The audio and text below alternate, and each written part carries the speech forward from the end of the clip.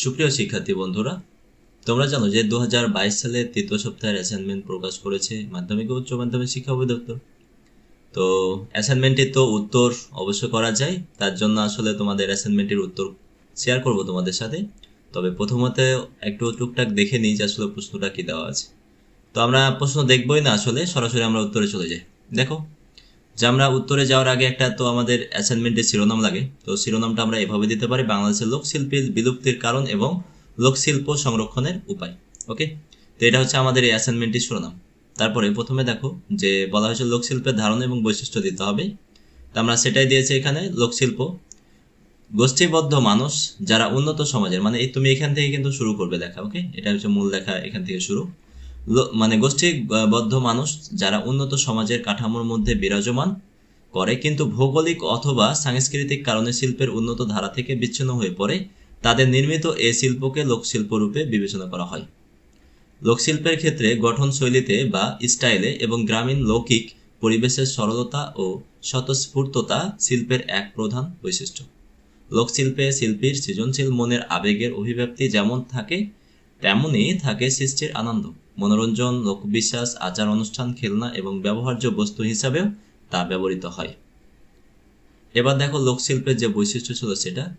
এই শিল্প সাধারণ লোকজন চর্চা করেন। লোকশিল্প একটি সম্প্রদায়ের সাংস্কৃতিক জীবনের শিকড় এবং জীবন ব্যবস্থা প্রতিফলিত হয়। এই শিল্প দৈনন্দিন কাজে ব্যবহার উপযোগী। সাধারণ মানুষের সাংস্কৃতিক মনোভাব এই শিল্পে ফুটে ওঠে। লোকশিল্প দৃশ্যমান ও নান্দনিক। লোকশিল্পে শিল্পী সৃজনশীল মনের আবেগের অভিব্যক্তি থাকে। তো এরপরে যেটা আসলে আমাদের নির্দেশক ছিল, সেটা আসলে এখানে আমরা লিখব, লোকশিল্পের বিভিন্ন উপকরণ। তো তোমরা দেখো খ নাম্বার, লোকশিল্পের বিভিন্ন উপকরণ নিয়ে লিখতে হবে। লোকশিল্পের বিভিন্ন উপকরণ। পুরাতন শাড়ির কাপড় ও সুতা। পুরাতন কাপড় একত্রে সেলাই করে পাতলা কাঁথা তৈরি করে তার উপর মানে রং বেরঙ্গের সুতো দিয়ে ডিজাইন করে যে বিশেষ সুন্দর কাঁথা তৈরি করা হয় তাকে নকশি কাঁথা বলে। এ নকশি কাঁথা তৈরির মূল উপাদান সুতা ও পুরাতন শাড়ির কাপড়। এবার দেখো কাঠ। কাঠ লোকশিল্পের অতি সাধারণ একটি উপকরণ। এটির সাহায্যে বিভিন্ন ধরনের পুতুল, আসবাবপত্র, নান্দনিক ভাস্কর্য, ফুলদানি, কলমদানি ইত্যাদি তৈরি করা হয়। এরপর মাটি। মাটি হচ্ছে লোকশিল্পের সবচেয়ে সহজলভ্য উপাদান।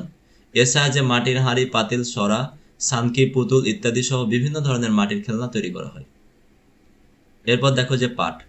পাটের আঁশ দিয়ে দড়ি বানিয়ে তাতে বেনুনি পাকিয়ে হাঁড়ি ও বিভিন্ন পাত্র ঝুলিয়ে রাখার জন্য যে বিশেষ ধরনের ঝুলি বানানো হয়, তাকে সিকা বলে। এক সময় গ্রামের প্রতিটি ঘরে ঘরে সিকা দেখা যেত। পাটের আঁশ এবং এতে লাগানো রং, বিচিত্র নকশা ও আঁশ এবং এতে লাগানো আচ্ছা বিচিত্র নকশা ও কারিগরের সৌন্দর্যের নিদর্শন এই সিকা। পাট দিয়ে শুধু সিকা নয়, আরও অনেক জিনিস তৈরি করা হয়, যেমন বাঁশ ও বেত। আমাদের দেশে বাঁশ ও বেত অপ্রতুল নয়। বাঁশের নানা রকম ব্যবহার ছাড়া আমাদের চলতেই পারে না।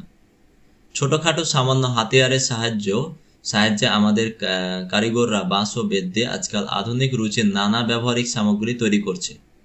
যা শুধু আমাদের নিজেদের দেশে নয়, বিদেশেও বহুল পরিমাণে ব্যবহৃত হচ্ছে। এছাড়া বাঁশ ও বেদ শিল্পের উৎকৃষ্ট সৃজনশীল নমুনাও দেখা যায়। চেয়ার, চালনি, ডালা, কোলা, ঝাড়ুই মানে চাই ইত্যাদির মধ্যে। এরপরে গ নাম্বার যে নির্দেশনাটা ছিল, সেটা হচ্ছে দেখো যে লোকশিল্পের বিলুপ্তির কারণ। লোকশিল্পগুলো কেন হারিয়ে যাচ্ছে বা বিলুপ্ত হয়ে যাচ্ছে সেই কারণটা। লোকশিল্প বিলুপ্তর কারণ। লোকশিল্প আমাদের জীবনের সাথে ওতপ্রোতভাবে জড়িত, কিন্তু বর্তমান কালে বিলুপ্ত প্রায়।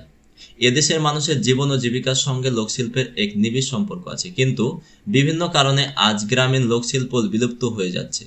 নিম্ন লোকশিল্প বিলুপ্ত হবার কয়েকটি কারণ তুলে ধরা হলো। যথাযথ সংরক্ষণ ও সম্প্রসারণের অভাবে আমাদের গ্রামীণ লোকশিল্প বিলুপ্ত হয়ে যাচ্ছে। লোকজন গ্রামের লোকশিল্পের সামগ্রীর চেয়ে শহরের কারখানার তৈরি জিনিসের প্রতি বেশি আকৃষ্ট হয়ে পড়েছে। আবার অনেক লোকশিল্প কারিগরের আগের মতো দক্ষতা ও শিল্পী মন নেই। এবার দেখো, প্লাস্টিক দ্রব্যের প্রতি আকর্ষণও বেড়ে গেছে তাদের। আর এসব কারণে লোকশিল্পের কি হচ্ছে, ক্রমে বিলুপ্ত হয়ে যাচ্ছে। পরে যে লাস্ট এন্ড ফাইনালি যে নির্দেশকটা ছিল, সেটা হচ্ছে কি, লোকশিল্প সংরক্ষণের উপায়। তো এটা দিয়ে আমাদের অ্যাসাইনমেন্টটি শেষ করব। তো দেখো, যে লোকশিল্প সংরক্ষণের উপায় লিখতে হবে। তো এই জিনিসটা আসলে তোমাদের প্রশ্ন আর কি তো প্রশ্নটা তোমরা লিখবে না, ঘ নাম্বার দিয়ে এটা থেকে শুরু করবে। যে ঘ নাম্বার, লোকশিল্প সংরক্ষণের উপায়। আমাদের সকলকে লোকশিল্প সম্পর্কে সাধারণ জনগণকে সচেতন করতে হবে। লোকশিল্প চর্চা অব্যাহত রাখতে বিভিন্ন পদক্ষেপ নিতে হবে। যেমন, লোকশিল্পের কারিগরদের যথাযথ সুযোগ সুবিধা পাওয়ার ব্যবস্থা করে দিতে হবে। লোকশিল্পকে যথাযথ মূল্যায়ন করতে হবে। জাদুঘরে কিংবা অন্যদের প্রদর্শনীয় স্থানে লোকশিল্প সংরক্ষণ করতে হবে। সুপরিকল্পিত উপায় এবং সুরুচিপূর্ণ লোকশিল্প প্রস্তুতের দিকে মনোযোগ দিতে হবে। সো আর এর মাধ্যমে আসলে আমাদের এই অ্যাসাইনমেন্টের উত্তরটি মানে নমুনা উত্তরটি শেষ করছি। সো ফ্রেন্ডস টুকিটাকে যদি ভুল ভ্রান্তি হয়ে থাকে, ক্ষমা সুন্দর দৃষ্টিতে দেখবে, ওটা অনিচ্ছাকৃত ভুল এবং কিছু হয়তো বা মানে ওরকম ভাষাগত কোনো ভুল নাই বা সাজানোতে কোনো সমস্যা নাই, অথবা টুকটাক কোথাও হয়তো বা রয়ের ফোটা ছুটে গেছে, অথবা দেখা যেতে পারে যে এরকম যে কোথাও তো দাড়ি কমাক ছুটে গেছে, এরকম হতে পারে। তো তোমরা ওগুলো দিয়ে দিবে। আর আশা করি যে এই ভিডিওটা যদি তোমরা এভাবে সুন্দরভাবে লিখে নিতে পারো, তোমরা অ্যাসাইনমেন্টটা ভিডিওটা দেখে, তাহলে তোমরা পূর্ণাঙ্গ মার্কস পাবে।